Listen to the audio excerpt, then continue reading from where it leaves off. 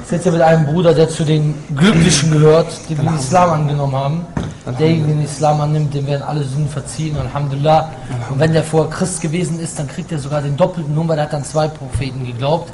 Alhamdulillah. Äh, Bruder, wie ist dein Name? Dawood. Dawud jetzt. Und äh, was warst du, wie alt bist du, wann bist du zum Islam gekommen und was warst du vorher? Mein Name ist Dawood, wie gesagt, ich bin 21 Jahre alt. Das ist jetzt mein zweiter Ramadan, Alhamdulillah. Und an dem ersten Tag des letzten Ramadans bin ich Alhamdulillah Muslim geworden. Alhamdulillah. Und ich war vorher katholischer Christ. Ich komme äh, aus Portugal, beziehungsweise aus Deutschland, bin halb Deutscher, halb Portugiese. Und Alhamdulillah Muslim. Und inshallah meine Familie auch. Alhamdulillah. Alhamdulillah. Dawud, wie, sagen wir mal, war früher deine Meinung von Islam und was war der Weg, der dich dazu gebracht hat, den Islam anzunehmen? Also das ist, ich komme aus Dortmund. Ich komme aus einer Gegend, wo 90% Muslime sind. Aber man hat diesen Islam, also ich persönlich habe den Islam nie gesehen. Ich habe einfach, die haben gelebt wie ich. Die haben ganz normal alles gemacht und Islam kannte man nur vielleicht aus dem Fernsehen oder aus Muslime. Ganz genau, so ähnlich. Und ich habe jetzt nicht den Unterschied gesehen. Den Unterschied jetzt zu mir. Diesen Muslim, ich bin Christ gewesen. Was war der Unterschied? Und, aber irgendwann kam ich an einen Punkt in meinem eigenen Leben, zu sehen, wo geht mein Weg hin? Ist das, woran ich glaube, überhaupt das Richtige? Und Alhamdulillah, Allah hat mich dahin geführt, die Wahrheit zu erkennen. Und ähm, dann Alhamdulillah bin ich Muslim. Du hast gesagt, du warst vorher katholisch gewesen. Ja. Wie kam es dazu, dass du dich gefragt hast, ist das, was ich glaube, das Richtige? Wie kam es dazu? Mhm. Das kam einfach dazu durch, aus, aus mir selbst. Ich habe viele Fragen gefunden, die mich interessiert haben, wonach ich gefragt habe und worauf Leute keine Antwort hatten. Und genau auf diese Fragen hat der Islam mir Antworten gegeben. Und Antworten gegeben, ich hatte immer eine Vorstellung von meinem Leben, immer. Aber dann habe ich viele Sachen vom Islam ge gefunden und subhanallah, ich habe das gesehen, habe gedacht, genau so habe ich vorher gedacht, genau so habe ich mir mein Leben vorgestellt. Genauso war meine- Meinung gegenüber zum Beispiel dem Propheten äh, Jesus, zu, zu sehen, wie denke ich über dich. Ich kann niemanden, ich kann keinen Menschen anbieten, der genau anbeten, der genauso ist wie ich. Genauso wie ich. Prinzip, ja. Das kann nicht so sein. Und Subhanallah. Alhamdulillah. Subhanallah. Und der Prophet Muhammad, der sagt ja auch, dass jeder Mensch wird mit der natürlichen Veranlagung geboren. Also die Menschen werden immer mit der natürlichen Veranlagung an Gott zu glauben geboren und dann die Väter verabawahum Abawahum. Äh, wa yunassirani wa yumajisani. Und die machen die dann zu ihrem, bringen die genau. dann auf diesen falschen Weg, zu Juden, Christentum oder zumindest Feueranbetern. Und du sagst jetzt auch, dass du in deinem Inneren gespürt hast, dass Genau. es nicht richtig ist, Menschen anzubeten. Genau. Und ich habe ich hab gemerkt, dass es war eine, eine Art Entwicklung. Ich war vorher auch feiern, ich habe geraucht, ich habe getrunken und ich habe vor, zwei, vor drei Jahren aufgehört zu rauchen, ich habe vor zwei Jahren aufgehört feiern zu gehen. Und dann, ich habe gemerkt, dass meine Seele immer mehr nach das Schrei danach schreit, nach dem Schöpfer, den, den anzubeten. Und Alhamdulillah bin ich dann Muslim geworden, aber es war wie gesagt eine Entwicklung. Ich habe gemerkt, dass ich habe im Sommer jeden Tag zu Gott gebetet, dann noch halt anders.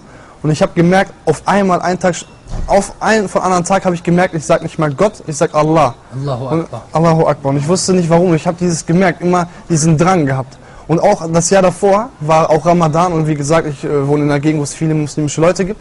Und ich habe das gespürt, dass es irgendwas Besonderes ist. Ich habe gemerkt, ich möchte auch dahin, wo diese Leute sind. Alhamdulillah. Und dann hat Und, Allah ähm, mich dahin geführt. Du hast vorher, bevor du Muslim geworden bist, hast du auch einige Bücher gelesen. Genau, ja, beschäftigt, ja, ja. Und von anderen Religionen auch, oder? Genau, ja, ich habe ähm, ich hab viel über das Christentum gelesen natürlich, weil ich natürlich erstmal da anfangen muss, wo ich stehe.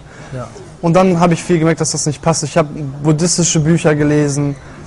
Und dann, Alhamdulillah, habe ich angefangen mit Büchern, die die Religion verglichen hat. Vergleich zum Beispiel, das Buch, mit dem ich angefangen habe, war äh, Jesus im. Islam. So, Jesus, Jesus, im Islam. Alhamdulillah. Und was ich da gelesen habe, wie der Islam über Jesus denkt. Zum Beispiel, was ich auch wichtig finde für alle Nicht-Muslime, die wissen sollten, dass Jesus auch ein Prophet des Islams ist. Ja. Dass er ein sehr wichtiger Prophet ist. Ja, ja.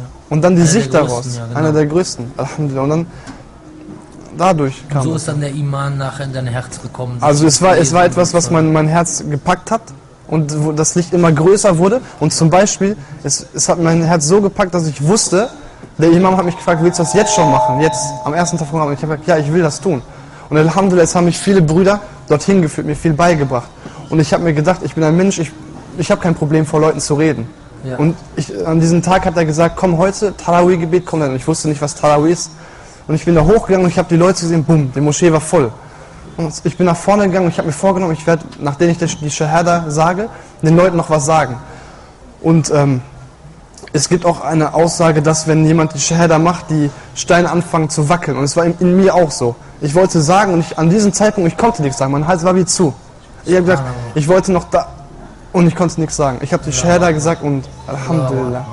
Und auch die Nacht danach, die äh, Qadr in, im Ramadan. Ja. Und subhanallah, ich verstehe kein, Alhamdulillah, ich kann jetzt Koran lesen, aber ich verstehe kein Arabisch.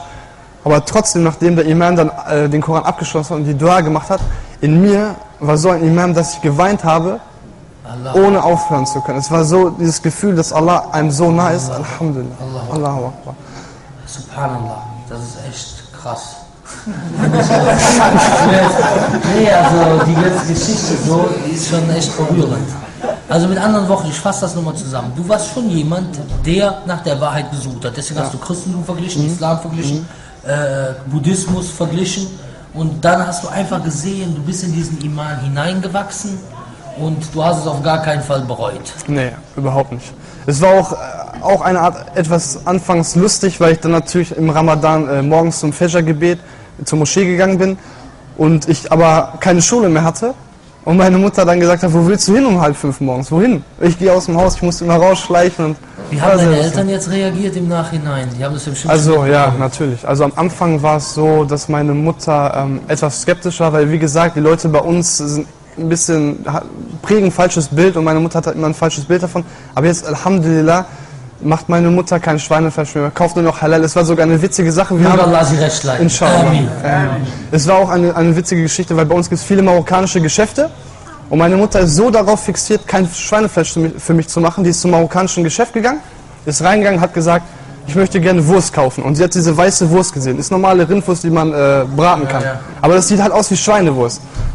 Und dann ist sie zu dem Mann, zu dem Verkäufer gegangen, hat gesagt, ja, ich möchte einmal die Wurst. Aber das ist kein Schweinefleisch. Und im, Mar im marokkanischen Geschäft ist kein Schweinefleisch. Er sagt, nein, natürlich. Das sieht aber aus wie Schweinefleisch. Ganz sicher, dass das kein Schweinefleisch ist für meinen Sohn. Der ist kein Schweinefleisch. Und. Alhamdulillah. Willst du noch den Leuten, äh, sagen wir mal, der, der muslimischen Bevölkerung, du hast eben erzählt, dass einige Muslime, also da kam raus, dass das, da, dass das Dawa-Stopper sind. Das heißt, wenn die Muslime sich richtig benehmen würden, dann hättest du bestimmt viel früher etwas von Islam gesehen. Willst du etwas für die Muslime sagen, die in Deutschland leben? Also ein, eins, was sehr wichtig ist, was der Prophet sallallahu auch gesagt hat, wenn man in einen, in, wie wir jetzt zum Beispiel, wenn wir lachen, wenn, wenn man Spaß hat, dass man den, den Tod der Genüsse erwähnen soll, das ist der, äh, der Tod, also der, den Tod zu erwähnen. Weil das ist ein Thema, das die Leute heutzutage nicht unbedingt äh, nicht besprechen.